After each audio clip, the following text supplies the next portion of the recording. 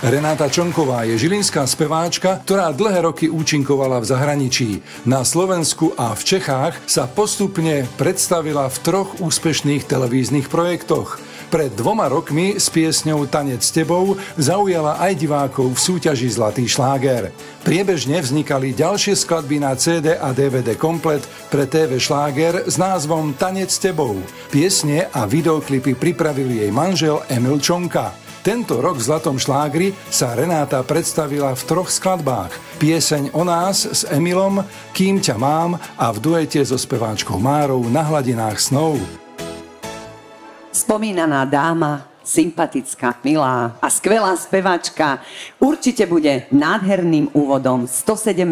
dielu pesničiek z kasína. Milí priatelia, Renata Čanková a jej manžel Emilio.